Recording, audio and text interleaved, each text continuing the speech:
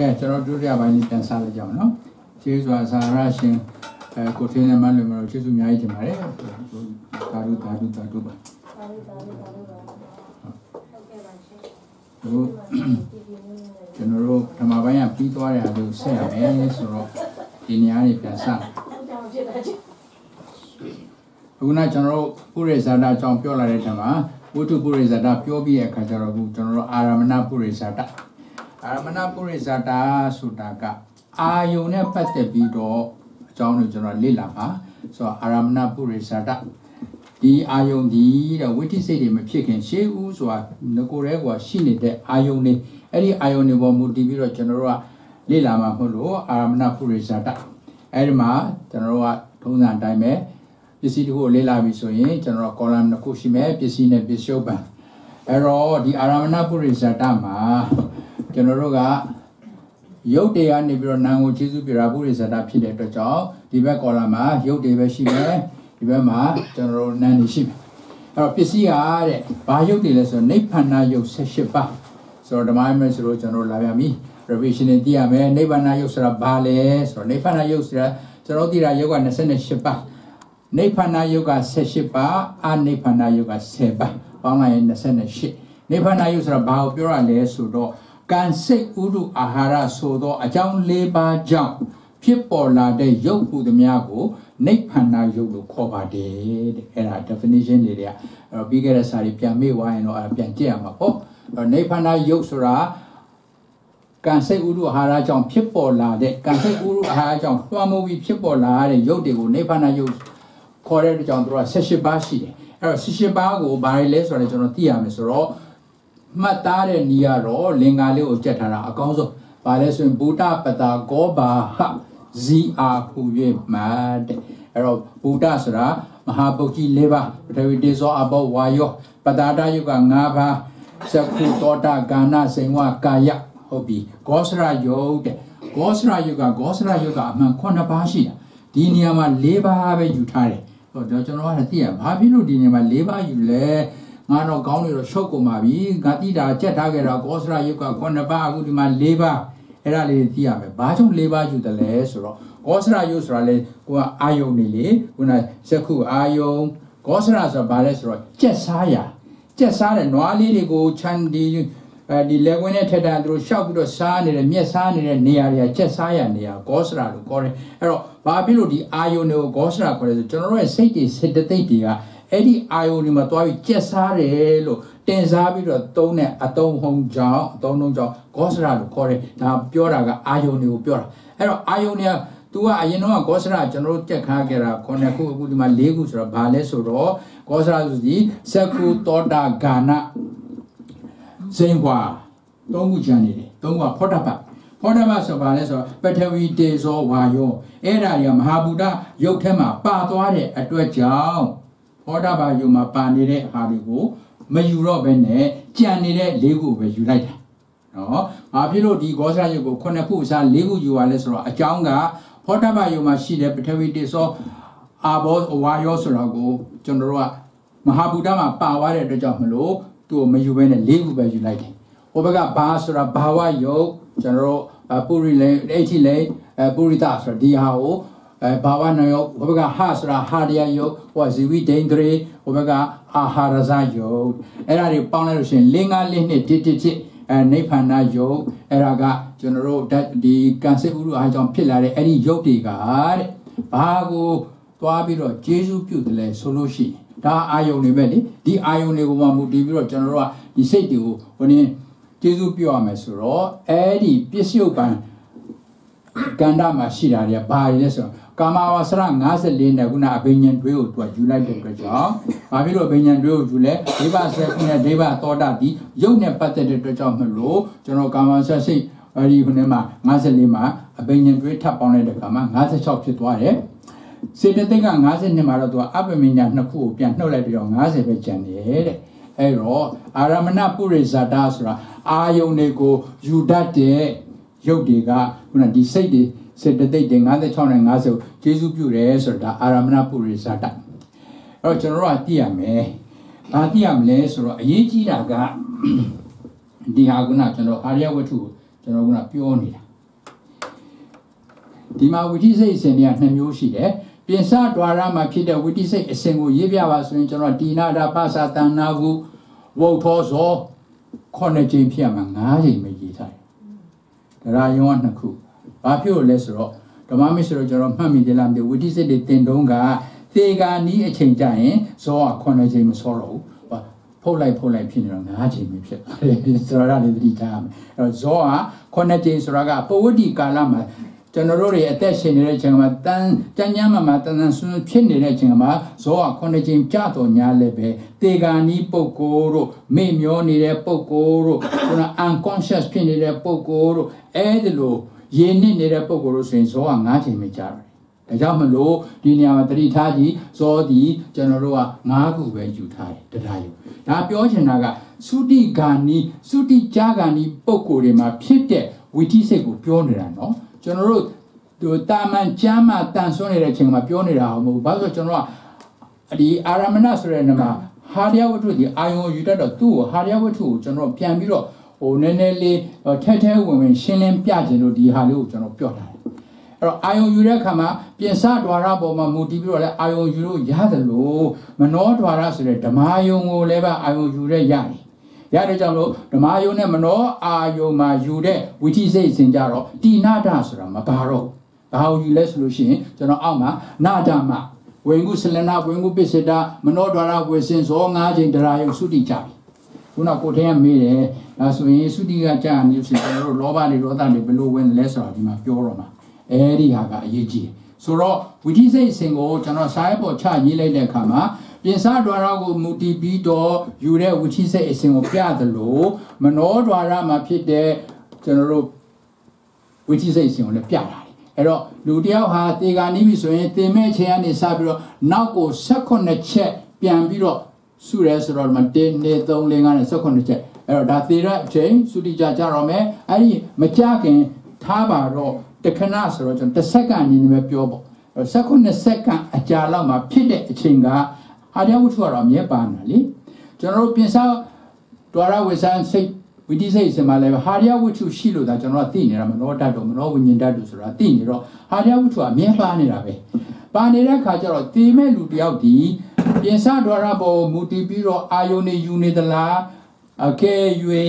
ဟာရဝတ္ထု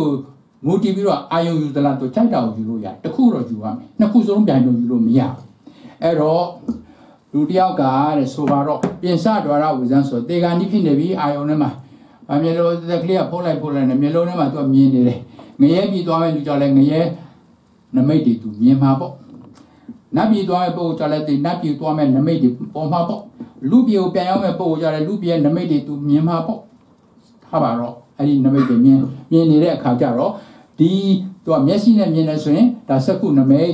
နားနဲ့အတန်နေကြနဲ့သောတာနမိတ်အဲ့ဒီနမိတ်တွေနဲ့ယူမယ်ဆိုရင်သူကဝိသိစဉ်ဒီအပေါ်ကတိနာတာပါစတနာဟုဇော၅ချိန်တရားယုံနှစ်ခုသုတိစိတ်ကြအကယ်လို့သူကမျက်စိအာယုံကိုမယူဘဲနဲ့မနောအာယုံကိုယူပြီးတော့ဟာရယဝတ္ထုနဲ့ ယူမယ်ဆိုရင်သူရဲ့ဝိသိစိတ်အစဉ်ဒီအောက်ကနာတာမှာဇော၅ချိန်တရားယုံနှစ်ခုသုတိစိတ်ကြမယ်အဲ့တော့ကျွန်တော်သိပြီအဲ့တော့ဟာရဝတ္ထုရဲ့ပါဝင်လှုပ်ရှားမှုဟာရဝတ္ထုကိုခေါ်ပုံခေါ်နည်းတွေပြောတော့မယ်ပြောတဲ့အခါကျတော့မသေးခင်တော့ကပိုးဒီခါမှာတော့ကဟာရဝတ္ထုဒီပြင်စဒွါရဝတ္ထုဖြစ်လာတိုင်းဖြစ်လာတိုင်းဟာရဝတ္ထုဆိုတာအမြဲတမ်းနောက်ကပါတယ်ဘာဖြစ်လို့ဆိုစက္ခုဝိညာဉ်စိတ်လို့ပြောလိုက်ပြင်မယ်လို့ဒီစက္ခုကြီးကတော့ရုပ်ပဲ အာယုံနဲ့ရုပ်ပဲရုပ်ရုပ်ချင်းတွေ့ပြီးတော့ကကျွန်တော်ကစက္ခုဝိညာဉ်စိတ်ဖြစ်လာတယ်ဆိုတာစက္ခုဝိညာဉ်စိတ်မှန်းသိတာနောက်ခံကဟာရဝတ္ထုကပါနေတာဟောကျွန်တော်သိရဟာရဝတ္ထုမရှိဘဲနဲ့ဘလို့မှမသိနိုင်ဘူး။တော့တင်နေတဲ့ပုံကိုတယောက်ကိုလူကတင်နေတဲ့သူ့မျက်စိကိုသွားပြီးတော့မျက်ခုံကိုလှန်ပြီးတော့လက်တွေနဲ့သွားပြီးတော့ရွိတ်ပြ။ရုပ်လေသူ့မှာမသိတော့ဘူး။ဘာလို့ဟာရယဝတ္ထုမှာမရှိတာ။ဒါတော့ကျွန်တော်သိရမယ်။ကျွန်တော်မြင်နေတယ်ဆိုတာပြောတော့တာစကုဝิญဉ်စိတ် သောတာဝิญဉ်စိတ်အမျိုးမှာမျက်စိစိတ်ကလေးကဒီမှာဖြစ်တဲ့မျက်လုံးကို base လုပ်ပြီးတော့ဖြစ်လာတဲ့ဆိုပေမဲ့လို့တကယ်တမ်းကျတော့တိတိကျကျပြောမယ်ဆိုရင်ဟာတရားဝိထုကြောင့်ကျွန်တော်ကစကုဝิญဉ်စိတ်ဖြစ်တယ်ဆိုတော့ကျွန်တော်သိတယ်။ဒါကြောင့်မလို့ကျွန်တော်တို့ကတိနာတာပသတဏ္ဍဟုဆိုတာတံပတိတ်ဆိုင်ဆိုတာကလက်ခံယူတယ်အာယုန်တွေကပတာရယုတ်ဒီမျက်လုံးရဲ့အနောက်မှာရုပ်ကြည်လေးဖြစ်ပြီးတော့သူကကျွန်တော်တို့သိပ္ပံပညာဆေးပညာနဲ့ပြောလို့ဆိုရင် ဒီအာဒီအုံနောက်ထဲမှာရှိတဲ့ optical center ဆိုတာမျက်စိအာရုံတွေကို interpret လုပ်တဲ့ center ကိုသူကလက်ခံပြီးတော့ပို့လိုက်တာအဲ့တော့တံပတိဆန်းနဲ့တန်တီရနာလို့ညီမျှတယ်လို့ပြောလို့ရတာပေါ့အဲ့ထားပါတော့အဲ့ဒီအခါကျရင်ကျွန်တော်တို့ကဟာရဝတ္ထုကြီးအများအားပါနေတယ်ဆိုတော့ဒီမသေးခင်ဒီ16ချက်စိတ်အထိဟာရဝတ္ထုလို့ပဲခေါ်တယ်တနည်းအားဖြင့်အဲ့ဒီ16ချက်စိတ်ကနေပြီးတော့ စုတည်တဲ့အချိန်ကိုပြောင်းလာပြီဆိုရင်အဲ့ဒီဟာရဝတ္ထုကိုကျွန်တော်တို့ကဝတ္ထုပုရိသတာလို့လည်းခေါ်လို့ရတယ်ဝတ္ထုပုရိသတာနဲ့ line line နဲ့ဘုတ်ထောကိုရောက်တဲ့အချိန်ကစပြီးတော့အဲ့ဒီဟာရဝတ္ထုကိုဝဋ္ဌာရမဏပုရိသတာလို့ခေါ်လိုက်ပြီဆိုတော့တကယ်တမ်းကျတော့ဟာရဝတ္ထုမှာနာမည်တွေကဟာရဝတ္ထုလို့လည်းခေါ်လို့ရတယ်ဝတ္ထုပုရိသတာလို့လည်းခေါ်လို့ရတယ်ဝဋ္ဌာရမဏပုရိသတာလို့လည်းခေါ်လို့ရတယ် ဝိတုပုရိသတာလို့ခေါ်လိုက်တာမသေးသေးဘူးဓမ္မမရှိလို့ကျွန်တော်တို့ဖုတိခါမှာဝိသိစိတ်တွေဖြစ်သွားတယ်ဆိုရင်အဲ့ဒီစိတ်တွေတောက်လျှောက်ကျွန်တော်တို့ကဝုထုပုရိသတာဝုထုပုရိသသေဂာနီးအချိန်ရောက်လာတဲ့အခါကျတော့မှဝုတ်သောကိုလည်းစရောက်တော့အဲ့ဒီဟာတရားဝတ္ထုဝါဝိတုပုရိသတာကိုနာမည်ပြောင်းခေါ်လိုက်တယ်ဝိတုဝိထာရမဏပုရိသတာဘာလို့ဆိုတော့ तू က ဟာရဝတ္ထုပဲပြောလို့ရှိရင်စကားပဲခါမရှင်းတော့ဘူးသူကလည်းသူပြောမှာလေဟုတ်တယ်မလားအဲ့တော့ကျွန်တော်တို့လည်းငငယ်တုန်းကဆိုတော့ကျွန်တော်တို့မွေးကစားမောင်တန်းထွန်းဝေဆိုပြောလိုက်တော့မောင်တို့အတန်းကြဒီကငငယ်ပဲဖြစ်အောင်ကိုတန်းထွန်းဝေဆိုရင်ဒါ तू ကအသက်20ပတ်ဝန်းကျင်ဦးတန်းထွန်းဝေကျတော့တေကာနီးချင်းဖြစ်သွားပြီလေဟုတ်တယ်မလားအဖိုးဦးတန်းထွန်းဝေတော့ဆိုရင်ဒါဆိုတိတ်မချောင်တော့ဘူးလေအဲ့တော့နာမည်လေးကိုနားထောင်လိုက်တာနဲ့ဒီလူဟာဘယ်အသက်ရွယ်လဲလို့ပိုင်းခြားခွဲဝေလို့ရတယ်လို့ ဟာရဝတ္ထုကိုလည်းပဲဟာရဝတ္ထုဟာရဝတ္ထုပြောလို့ကရှုပ်ကုန်မှာဒါကြောင့်ကျွန်တော်တို့ကဟာရဝတ္ထုခေါ်တဲ့ဟာတဲ့ဝတ္ထုပုရိသတာလို့ခေါ်တဲ့ယောဒနာပုရိခါမှာအတက်မသေးသေးဘူးဆိုဝိတိစိတ်ဖြစ်နေတဲ့အချိန်မှာဟာတဲ့ဝတ္ထုကိုဝတ္ထုပုရိသတာလို့တောက်လျှောက်ခေါ်သွား it's all right တေဂာနီချိန်ဝဋ္ဌာရမဏရောက်ပြီဆိုရင်ပြင်စတော်ရဝိသံကိုပဲအာယုံပြုတ်ပြုတ်မနောတော်ရဝိသံကိုအာယုံပြုတ်ပြုတ်အဲ့ဒီဝုတ်ဖို့ မနောဒွါရဝစဉ်အချိန်ကနေစပြီးတော့တည်တဲ့ကာလလည်းရောက်ပေါ့အဲ့ဒီချိန်မှာအလုတ်လုံနေတဲ့ဟာရဝတ္ထုကိုဝိထာရမဏပုရိသတာလို့ခေါ်တယ်ဒူးဒူးပဲဟာဟာကိုပဲကျွန်တော်ဟာရဝတ္ထုကိုပဲနာမည်လေးတွေသူ့ဂန္ဓာနဲ့သူပိုင်းခြားခေါ်လိုက်တာဒါပဲနာမည်လေးပြောင်းနေလို့ဘာမှခေါင်းထဲမှာရှုပ်နေတယ်ကျွန်တော်စိတ်ထဲမှာသိရတယ်နာမည်လေးခွဲပြီးတော့ပြောလိုက်တယ်ဆိုတော့လေသိရဒါကြောင့်လို့ဒီမှာကျွန်တော်ကစာလုံးလေးနဲ့ထည့်ထားတယ်သုတိအခါမှာအဲ့ဒီ ဝုတ်ထောတို့မနောရောဆိုအဲ့ဒီကာလာလေးမှာသူကဝဋ္ဌာရမဏပုရိသတဒီကျွန်တော်ဟာရဝတ္ထုကိုခေါ်လိုက်တာအဲ့တော့ဝဋ္ဌာရမဏပုရိသတဆိုတော့ဝုတ်ထောကနေစတော့သူ့မှာဇောတွေတရားယုံနေပါတယ်ဇောကတ်နေတယ်တေဂာနိသူဇောကတ်နေပြီးတော့ကျွန်တော်တို့အရက်ထဲမှာပြောနေတာအဲ့ဒီမှာဇောကတ်နေတော့ဇောဆိုတာဘာလဲကုသိုလ်ရဲ့အကုသိုလ်ရဲ့ကုသိုလ်မဟုတ်အကုသိုလ်မဟုတ်တာကိုဇောလို့ခေါ်တာအဲ့တော့ကုသိုလ်ဟုတ်တယ်ကုအကုသိုလ်ဟုတ်တယ် အဲ့တော့အကုသိုလ်ကဘာလဲလောဘဒေါသမောဟကုသိုလ်လည်းမဟုတ်အကုသိုလ်လည်းမဟုတ်တာအဗျာကတအဲ့ဒီအဗျာကတကြတော့အရိယာတွေယဟန္တာတွေကြတော့သူတို့ကစိတ်ကိုနိုင်နေတဲ့အချိန်ခါမှာတေဂာနိချိန်ပဲသူတို့ရဲ့စိတ်ကိုလောဘဒေါသမောဟမကပ်ဖဲနဲ့အဗျာကတအနေနဲ့ထိန်းထားနိုင်တယ်ဒါကြောင့်မလို့ယဟန္တာတွေစုတည်သွားတဲ့အခါမှာလောဘဒေါသမပါကြောင့်ယဟန္တာတွေစုတည်ဟိုပြိဋိဘံပြုတ်ပြီးတဲ့အချိန်နောက်ပိုင်းမှာ သူ့မှာကသူ့မှာဖြစ်တဲ့စိတ်ကဘယ်ရအဗျာကတဖြစ်လို့ဝိပက်စိတ်ကိုမပေးနိုင်တဲ့ကြောင့်ကြောင့်ပရိနိဗ္ဗာန်ဆံလက်ပြီးတော့ဘဝဆိုတာမဖြစ်တော့ဓမ္မမရှိလို့ကျွန်တော်တို့ကြတော့အကုသိုလ်တွေကအလုံးခဲဆိုတော့အာယတာကုသိုလ်အော်အကုသိုလ်ဒါပဲအဲ့တော့ဒီမှာအဗျာကတဆိုတော့မပါတော့ထားတော့ကျွန်တော်တို့ကအဗျာကတကကျွန်တော်တို့နဲ့မဆိုင်တော့အရိယာမဆိုကျွန်တော်တို့ကပုထုဇဉ်နဲ့နဲ့ဆွေးနွေးကြတော့ခုနကကိုထိန်ပြောသလိုကျွန်တော်ကတည်တော့မယ်ဆိုပါတော့ အဲ့ဒီချိန်မှာကျွန်တော်ရဲ့စိတ်မှာနှစ်ခုပဲရှိတယ်ကုသိုလ်အကုသိုလ်အကုသိုလ်ဆိုရင်လောဘဒေါသမောဟသုံးခုတွေကတစ်ခုဝင်မယ်အဲ့တော့တေဂာနီးမှာဇောကရင်ကျွန်တော်ကအဲ့ဒီ၄ခုပေါ့အကုသိုလ်က၃ခုကုသိုလ်ဆို၄ခုတည်းမှာတစ်ခုခုပဲကတ်တော့မယ်ကျွန်တော်တို့ကဟုတ်ပြီနော်တခုကိုကတ်နေပြီဆိုတော့ဒီမှာကြည့်ကျွန်တော်ကကုသိုလ်အကုသိုလ်လောဘဒေါသမောဟအပြာကတတော့ကျွန်တော်တို့မဆိုင်တော့ထားလိုက်တော့အဲ့ဒါပြီးရင်သုတိစိတ်ကြတော့တယ်အဲ့တော့သုတိဆိုတာပဋိသန္ဓေ ဘဝင်သုတိဒီတစ်စိတ်သေးပဲလို့ပြောတယ်ကျွန်တော်လေ့လာခဲ့တယ်လေပဋိသန္ဓေဘဝင်သုတိကတစ်စိတ်သေးဖြစ်တယ်ဆိုတော့တချို့ကလက်ပေါက်ကပ်ပြီးတော့မေးတယ်ကျွန်တော်ကပဋိသန္ဓေကျွန်တော်တိဟိတ်နဲ့ပဋိသန္ဓေယူတော့ဇာထဲမှာကပဋိတန်တေဘဝင်စုတိတိအတူတူပဲဆိုတော့ကျွန်တော်တေဂာနီးမှာလည်းကျွန်တော်တိဟိတ်စိတ်နဲ့ပဲသိမလား no ယူလာခဲ့တော့ကတိဟိတ်စိတ်တိဟိတ်တိဟိတ် ဘဝဒီပဋိတန်တေဘဝင်စုတိတွေကစိတ်ကနေချာကတော့အတူတူပဲတေဂာနီးချိန်မှာအဲ့ဒီပုံမှာထပ်ပြီးတော့လွှမ်းမိုးလာတဲ့ကုသိုလ်အကုသိုလ်တွေကနေပြီးတော့နောက်ဘဝကိုဆုံးဖြတ်သွားတာဆိုပါတော့ဓမ္မမိတ်ဆွေတို့ကတို့ဘူးတုတ်ကလေးတုတ်တယ်တိုဘူးတုတ်ကလေးကတော့တိုဘူးကသူ့အတူနေလို့ရှိရင် okay ပဲငံပြရည်လေးနင်းထက်တော့ တိုဘူးတုတ်ကအရသာပျောက်ပြီးတော့ငံပိုင်ငံပြရည်ကလွှမ်းမိုးသွားတယ်စားလဲဆက်လို့အမလီနိုင်တာ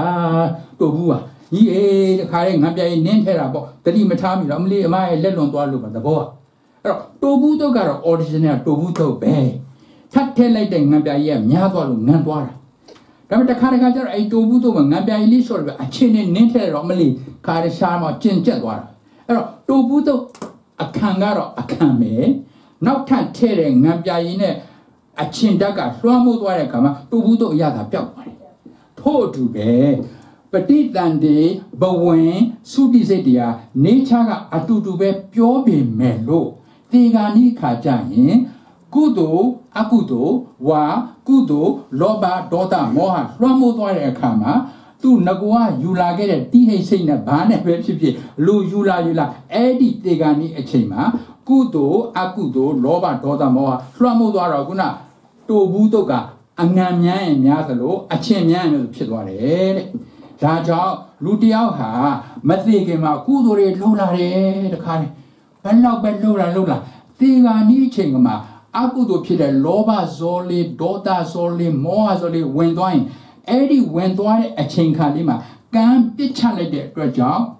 ဘယ်လောက်ပဲကုသိုလ်တွေလှုပ်လာလှုပ်လာတေဂာနိအချိန်ခါလေးကိုဆွဲပြီးတော့ဘဝတစ်ခုဆိုတာဖြစ်သွားတယ်အဲ့ဒီဘဝကုံသွားပြီးတဲ့ခါကျတော့မှအဲ့ဒီဘဝမှာလည်းဖြစ်နေတဲ့ဘဝမှာပဲသူ့ရဲ့လှုပ်လာခဲ့တဲ့ဒါနသီလကုသိုလ်တွေအကျိုးတွေပေးမယ်ဒါမှမဟုတ်လည်းအဲ့ဒီဘဝလေးကကုံဆုံးသွားတော့မှလူကကောင်းရာဒုက္ခကိုလာရင်လည်းလာတတ်တယ်ဒါကြောင့်မလို့တေဂာနိချိန်ကကျွန်တော်ဗုဒ္ဓဘာသာတိတ်အရေးကြီးတယ်တကယ်လို့ကိုကမျောနေတဲ့ချိန်ကကိုယ့်ရဲ့သားတွေတမီးတွေကကိုယ်ရှိမှလာပြီးတော့ငိုမယ်ယိုမယ် အမီးတွေတူမတွေကနေပြီးတော့ခါတဲ့အမလေးအဖွားရဲ့အန်တီရဲ့ကြီးကြီးရဲ့ဆိုတော့လှုပ်လို့ရှိရင်အဲ့ဒီမှာသွားပြီးတော့လောဘဆောဒေါသဆောမောဟဆောကံကောင်းရဒုက္ခရလာဖို့မလွယ်ဘူး။အကြောင်းမလို့တေဂာနီးမှာဗုဒ္ဓဘာသာလေးဟာတိတ်အရေးကြီးတယ်။အဲ့တော့ကျွန်တော်ဘဝတစ်ခုကိုဖြစ်လာတယ်ဆိုတာကအဲ့ဒီတေဂာနီးချင်းကဆုံးဖြတ်သွားတာ။ဘလောက်ပဲကန်ဒီလှုပ်လာလှုပ်လာ။ဒါကြောင့်မလို့သဘောကဆိုပါတော့လူတယောက်ဟာကောင်းရ ဒါနသီလတွေအကောင်းဆုံးသူလုပ်ခဲ့တယ်။သေဂာနီးချိန်ခါမှာသူကနေပြီးတော့မောဟဇောလေးကများပြီးတော့သူတရိษံဖြစ်သွားတယ်။လောဘဇောများရင်ကျွန်တော်သိရင်တော့ပိတ်တာဖြစ်တယ်။တရေဖြစ်တယ်။ဒေါသဇောများရင်ငရဲကြတယ်။မောဟဇောများရင်တရိษံဖြစ်တယ်။အဲ့တော့အဲ့ဒီပုံကိုယ်ဒီမောဟဇောတွေမျောပြီးတော့များပြီးတော့တရိษံဖြစ်သွားလို့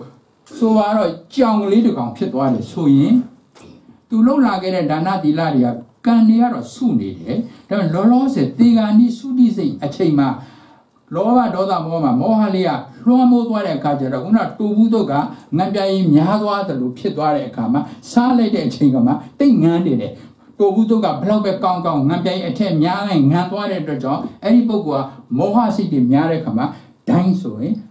ကြောင်ကလေးဖြစ်သွားဟော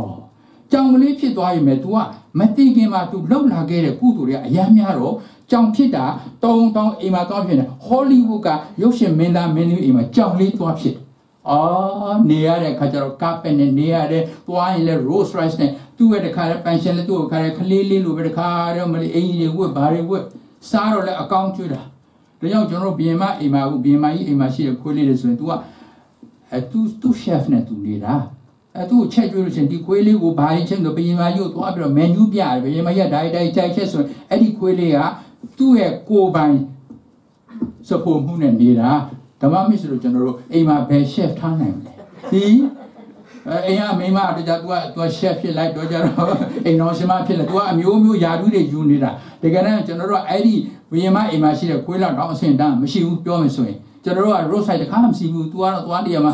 တော့ဘီယမပေါ်မှာတက်ပြီးတော့အိတ်တယ်ကျွန်တော်ဆိုဘီယမလေးနဲ့ကပ်ဖို့ဆိုလွယ်တာမဟုတ်တာ အဲ့တော့မတူဘူးလေသူကခွေးလေးဖြစ်သွားပြီမဲ့လို့သူလှုပ်လာခဲ့တဲ့ကုသိုလ်တွေကများတော့ကျွန်တော်တို့နဲ့ဘဝကွာသွားတယ်ဒါပေမဲ့ကျွန်တော်ကတော့သူ့ထက်တာတာဩငါတော်ပါသေးလူဖြစ်လာလို့အဲ့ဒါတေဂာနီးမှာတိတ်အရေးကြီးတာဒါကြောင့်မလို့ပြောရရင်တော့ဟိုနည်းနည်းကွန်မရှင်လိုပဲအဲ့တော့ကိုကနေပြီးတော့တစ်ခါတစ်ခါကြက်လို့ရှိရင်တေဂာနီးအချိန်မှာမတော်ဆာများဟာဘယ်နေ့အဲ2021 New Year Eve မှာငါမေ့ဆိုရင်ငါတို့ဝိုင်းနေတောက်ကြတယ်အဲ့ဒါကောင်းနေမှဝင်သွားပြီဆိုရင်ဒိုင်းဆိုသွားပြီဟောတယ်နော်ကျွန်တော်ဆောင်းပြောရမဟုတ်ဘူးနော်မြင်တယ်ကျွန်တော်အဲ့တော့ဟာကိုမရှိရကောင်ပေါင်းပြီးလို့ဟာတောက်ကြဆက်တဲ့ချင်းနေကြအာစနေနိုင်ထိုးမတိစောင့်နေသေးတာဟောတော့ဆိုအေး Happy New Year နဲ့အော်ကြဟစ်ကြအဲ့ဒီဟာကမတော်လို့များဒီကနေ့ချိန်မှာအဲ့ဒါကြီးပြန်ပေါ်လာရင်အဲ့ဒါသူ့ကြောင့်ကိုဘဝတစ်ခုအရင်ဖြစ်အောင်တိတ်တိတ်ကြားရတယ်နော် မလေးအဲ့ဒါကအရေးကြီးတယ်အဲ့လိုဖြစ်သွားတဲ့အတွက်ကြောင့်ကံကာမနမိတ်ဂတိနမိတ်တွေယူပေမဲ့လို့လူတွေကဘလောက်ပဲကုသိုလ်ကောင်းမှုလှုပ်လာလှုပ်လာအဲတခါတည်းအဲ့လိုဖြစ်တတ်တယ် vice versa လူတယောက်ကဘလောက်ပဲဆိုးလာဆိုးလာတစ်သက်လုံးတခါတဲ့ငားမြလာငစိမ့်တဲ့ဖြစ်နေပြီစီသေဂာနီးချိန်မှာအတိတရားတွေရပြီးတော့ရှင်ဗုဒ္ဓဘာသာမှာအဲ့ဒါပြောတာဗုဒ္ဓဘာသာကမတရားဘူးတဲ့တဲ မဖြစ်မြတ်စွာဘုရားကလည်းပြောတယ်ကံဆိုတာဟာတိတ်နားလျာခက်တယ်တဲ့တချို့ဘလောက်ပဲဆိုးသွမ်းလာတဲ့ပုံကိုဖြစ်ပေစေဒီကနီးချိန်မှာသူအတိတရားရလာလို့ရှိရင်ကောင်းရာဒုက္ခတွေကိုရောက်သေးတာအမလေးနတ်ဘုံတွေပဲရောက်သေးတာ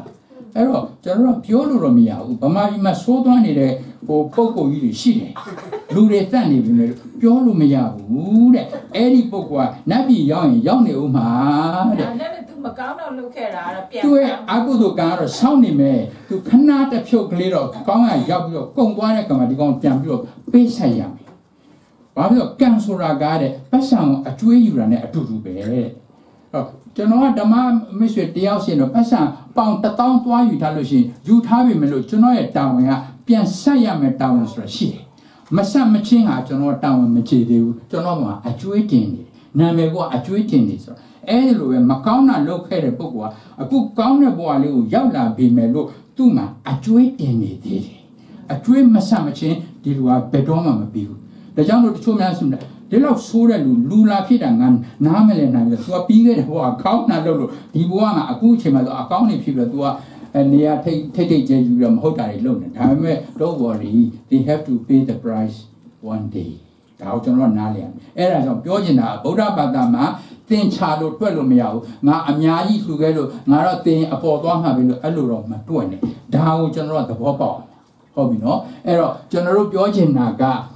ဟာဒီယဝတ္ထုကိုဘာကြောင့်ဝိထာရမဏပုရိသတာခေါ်ရလဲဆိုရင်အဲ့ဒီသုတေဂာနီအချိန်ဘုတ်ဖောနဲ့မနောဒရာဝိဇန်အချိန်ကနေရသုတိစိတ်ကြတဲ့အချိန်ထိကို ဟာဒီယဝတ္ထုလေးကိုဝိထာရမဏပုရိသတာလို့ခေါ်တယ်တဲ့ဒါလေးသိဖို့ပဲအဲ့တော့ဘဝတွေကူးတယ်ဆိုတာဘယ်မှာဆုံးဖြတ်တယ်လဲအဲ့ဒီအချိန်လေးမှာဒါကြောင့်မလို့ကျွန်တော်ကအာစိဏကံအာတနကံဆိုလောက်ထားတယ်အာစိဏကံဆိုတာအထက်ထက်အထက်ထက်လှုပ်ထားတဲ့ကံရှိတဲ့အခါကျတော့ဒီကံဤဇောပြန်တဲ့အခါမှာအထက်ထက်အထက်ထက်လှုပ်ထားတဲ့ဟာကကောင်းထဲမှာအရင်နေရာဝင်ယူပြီးတော့အာယုံပေါ်လာတဲ့အခါမှာကောင်းရာဒုက္ခတိလေးကိုရောက်သွားတယ်။ ဒါကြောင့်ကျွန်တော်ကျွန်တော်တို့ဓမ္မမစ်ဆိုတော့အခုဒီဝက်မှာလူဖြစ်လာတယ်ဆိုတာပြန်ပြီးတော့ retrospectively ပြန်ပြောမယ်ဆိုရင်ပြီးခဲ့တဲ့ဘဝမသိခင်ကသေဂာနီးချိန်ခါမှာကျွန်တော်တို့တွေကကုသိုလ်ဆိုတဲ့စိတ်ဓာတ်ကလေးနဲ့ယူလို့လူဘဝလာဖြစ်နေတဲ့အချိန်ပါလာလို့ကုသိုလ်လာကုလူလာဖြစ်နေဒါပဲ